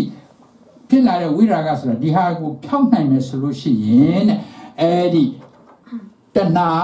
နိရောဓဥပါဒနာနိရောဓတဏှာရက်သွားရင်နိရောဓဆိုချုပ်သိမ်းသွားတယ်ဆိုတော့ဥပါဒနာနိရောဓဆိုဥတဏှာမဖြစ်တော့ဥပါဒနာမဖြစ်တော့ဘူးတဲ့ဥပါဒနာမဖြစ်တဲ့အခါကျတော့ဘဝဆိုလည်းမဖြစ်လာတော့ဘဝဆိုတာမဖြစ်လာတဲ့ action ဆိုတာမဖြစ်လာတဲ့အခါကျတော့ဇာတိတို့ဆရာတော်တို့အကုန်လုံးရပ်သွားတယ်တဲ့အဲ ဆိုတော့ခုနဟာပါဠိတော်ရဲ့ဆန့်ကျင်ဘက်အေဝမေတ္တာကအဲ့ဒီဘာမှအနှစ်သာရမရှိတဲ့ဒုက္ခကြီးဆိုတာဟာတဲ့နိရောဓချုပ်ငြိမ်းဆိုတာဖြစ်သွားတယ်ဆိုတဲ့သဘောကတွေ့ကြုံလာတဲ့အာယုန်တွေကို acknowledge လုပ်ပြီးတော့အဲ့ဒီအာယုံအနောက်ကိုမလိုက်ဖဲနဲ့ဩငါရဲ့အာယုံကလောဘဘက်ကိုသွားနေတဲ့အာယုံဆိုတတိလေးရလိုက်အဲ့ဒီမှာခဏရက်သွားတယ်ဒေါသဖြစ်လာပြီဆိုရင်ဩငါဒေါသတွေဖြစ်နေပါလားဆိုတိလိုက်ပြီဆိုတော့ ਨੇ ခဏရက်သွားတယ် အဲ့ဒါလေးကိုတတိလေးထားပြီးတော့နေသွားမယ်ဆိုရင်တဲ့အဲ့ဒီတန်တရာပရိစ္ဆသုံးကတန်တရာလေတာလေးကအခုလူမသိခင်အခုလောဆယ်ဖြစ်နေတဲ့ရုပ်တည်နာနေရဲ့လက်ပတ်မှုကိုဖြတ်တောက်လိုက်ခြင်းပဲတဲ့အဲ့ဒါကိုပဲပရိစ္ဆသမုပ္ပါတန်တရာကိုဖြတ်တယ်လို့ခေါ်ပါတယ်ပုရိသတနဲ့ကျွန်တော်တို့ကအဲဒီပရိစ္ဆသမုပ္ပါကလဲတာတွေပြတ်တာတွေကိုလေ့လာပြီးအဲ့တော့ပုရိသတကိုအဆုံးမတတ်ခင်ပုရိသတရဲ့ ပါဠိတော်နဲ့အ내ကိုကျွန်တော်တို့နည်းနည်းဟိုလေ့လာမှာပေါ့နော်အဲ့တော့ဘာကိုပြောရလဲဆိုတော့ပါဠိတော်ကိုကြက်မယ်ဆိုရင်ဒီမှာလေအဝရေးထားတဲ့ဟာတွေကိုကြက်ဒါလေးတွေကတော့ဘေကန္တကိုဘာကိုပြောနေတယ်ဟဲဒီအဝါကန္တသည်ဝိတုပုရိသတကိုပြောနေတာအောက်ကဒုတိယအဝါကန္တသည်အာရမဏပုရိသတကိုပြောနေတာပါဆိုတော့သိစေခြင်းလို့ထည့်ထားတာဆိုရန်မဟုတ်ပါတဲ့အဲ့တော့ကျွန်တော်ကဆိုလိုက်တဲ့အခါကျတော့သက္ခာယနံသက္ကုဝိညာဏဓာတုယတန်တံပြုဇနိသဓမ္မနာ ပုရိဇာတပစ္စေနာပစ္စယောတဲ့အဲ့တော့အတိပ္ပယ်လေးတွေကျွန်တော်အောက်မှာလေးရေးထားပေးပါတယ်အဲ့တော့ပုရိဇာတပစ္စယောဒီပုရိဇာတပစ္စည်းဆိုဒီမှာဟောကနေပြီးတော့သက္ခာယရဏသက္ကုပဒါရအခြေယုတ်ကလေးဒီသက္ကုဝိညာဏဓာတုယမြင်ကားများဖြစ်တဲ့သက္ကုဝိညာဏဓာအား၎င်းတန်တံပြုတ်ကရဏနိသထိုစိတ်နဲ့ရှင်တွဲလာသောတံပြုတ်တဲ့ရှင်တွဲလာသောဓမ္မနံတရားတို့ဆိုတော့စိတ်နဲ့ရှင်တွဲတာစေတသိက်ပဲရှိတော့ အဲဒီမှာရှင်တွဲတဲ့စေတသိက်ဒီနိယတစေတသိက်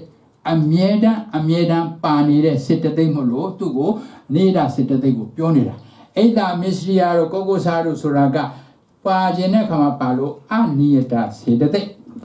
ဒီမှာကြတော့ဒီမှာဖြစ်လာတဲ့စကုဝိညာဉ်စိတ်စိတ်တစ်ခုဖြစ်လာပြီဆိုတော့မပါမနေအမြဲတမ်းပါတဲ့တပ္ပစိတ်တာသာဒါရဏခုနှစ်ပါးသည်တန်တန်ပြုတ်တကနိစ္စဓမ္မနံဆိုတာကိုပြောတာ အဲ့ဒါကြောင့်အဲ့ဒီစေတသိက်ခုနှစ်ပါးသည်ဒါတွေပါပဲဗာလဲဖတ်ဝေသင်စေဖတ်တဝေနာတင်ညာစေနာဧကကတမနတိကာရဇာတွေကိုပြောနေတာအဲ့ဒါကြောင့်အဲ့ဒီဟာတွေပါပါတယ်ဆိုတော့သူပြောတယ်အဲ့တော့အောက်မှာလည်းပဲ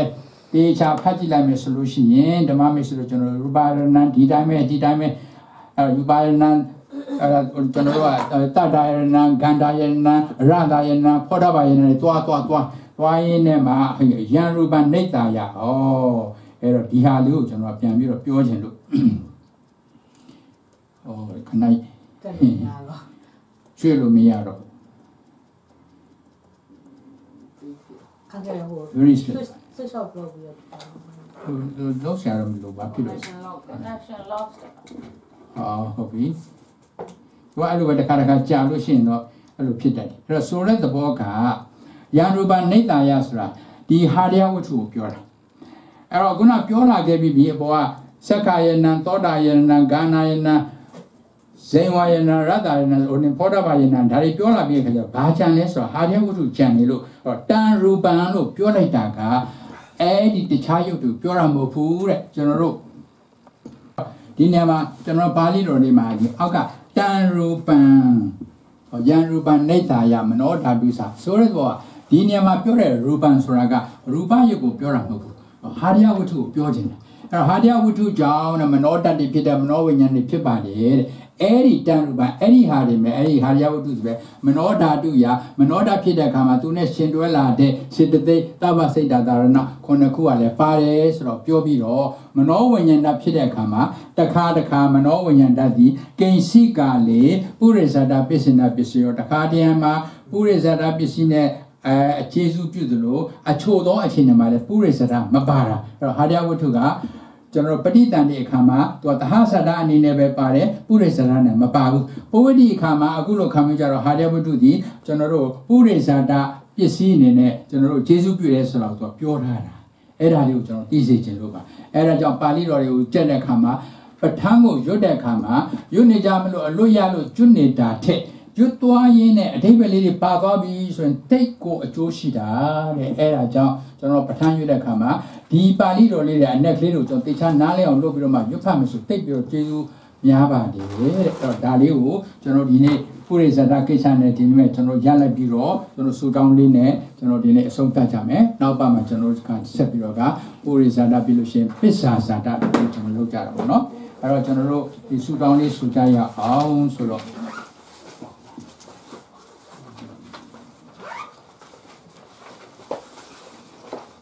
ဒါဒါဆိုကျွန်တော်တို့စူတောင်းလေးနဲ့စူတောင်းနော်တရားရှင်ကိုရောမြတ်ဟောကြားတော်မူသောအဘိဓမ္မာထသင်္ကဟကျမ်းကိုလေ့လာရခြင်းသင်ကြားပို့ချရခြင်းစသောကုသိုလ်စေနာတို့သည်၎င်းအစာအာဟာရထူတန်းရခြင်းဟူသောဒါနကုသိုလ်စေနာတို့သည်၎င်း ဗီဒီယိုရိုက်ပေးခြင်းစာသောဝေယဝိသကုသိုလ်စေနာတို့သည်၎င်းအကျွန်ုပ်တို့အားဖြစ်လျာသူကတိဘုံဘဝတိုင်း၌ဉာဏ်ပညာချက်မြတ်သောပုဂ္ဂိုလ်များဖြစ်အောင်အထောက်ပံ့ဖြစ်ပါစေတည်းထို့ပြင်တဝါပစ္စည်းမဘဝအဆုံး၌ပဋိသင်္ပိဒာဉာဏ်လေးပါးနှင့်ပြည့်စုံသော အရဟတမေအရဟတဘုံညာအားကြီးစွာသောအထောက်ပံ့ပြီးဖြစ်ပါစေတည်း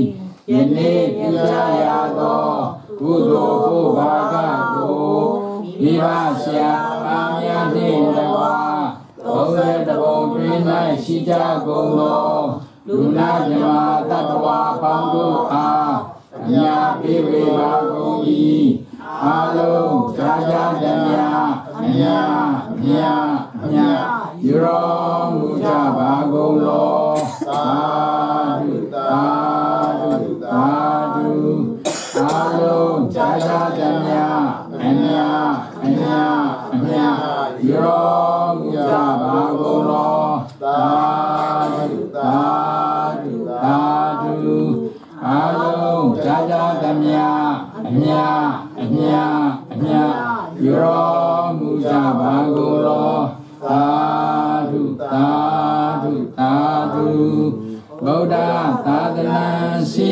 တိတ်တထု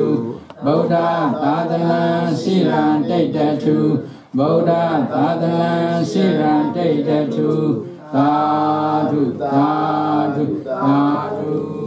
ဓမ္မမိတ်ဆွေအားလုံးစိတ်ချမ်းသာခြင်းကိုယ်ကြီးချမ်းသာခြင်းတို့ဖြင့်ပြည့်စုံကြပါစေခင်ဗျာကျေးဇူးတင်ရှိပါစေ